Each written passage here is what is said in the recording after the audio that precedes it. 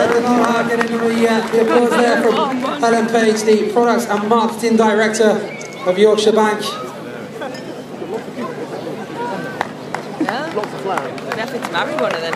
So the leader of the points classification